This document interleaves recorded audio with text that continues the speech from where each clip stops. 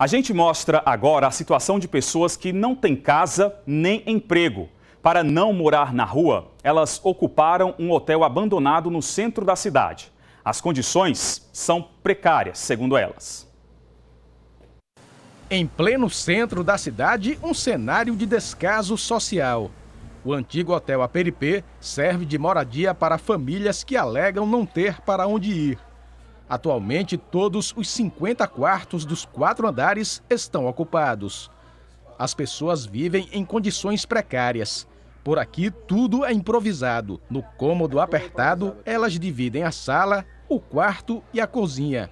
Os moradores até têm acesso à água encanada e à energia elétrica, mas através de ligações clandestinas. As roupas são colocadas para secar ali mesmo nos corredores. Doações e pequenos bicos garantem a alimentação. Aqui é ruim demais aqui de viver aqui. Aqui é, é alimentação não tem porque falta de emprego para mim para meu esposo. Não tem. É, alimentação é para rua de noite, para sopa. Roupa aqui, alimentação, é, energia aqui falha, às vezes queima, pega fogo. Mais de 25 crianças vivem nessas condições.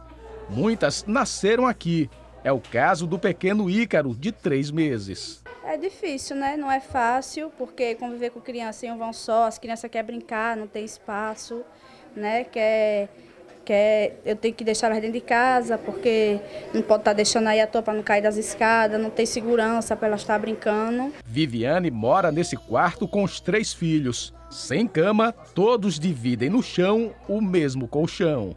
Dormimos nós três no colchão. Tem aquele, mas aquele não quer dormir naquele, aí dorme nós três aqui. Isso, nos quatro. Há quase um ano, as famílias foram retiradas do local, mas retornaram há nove meses. Em meio às dificuldades, sonham em ter a casa própria. Gostaria que as autoridades chegassem por nós, ver a gente que está sofrendo aqui e ajudasse a gente, porque aqui para nós aqui, é, todo mundo aqui tem criança. Aqui para uma criança que fica morando aqui não tem condições. A nossa produção entrou em contato com as assessorias das secretarias de Ação Social do Estado e do município de Aracaju, mas ninguém foi localizado para falar sobre a situação dessas famílias.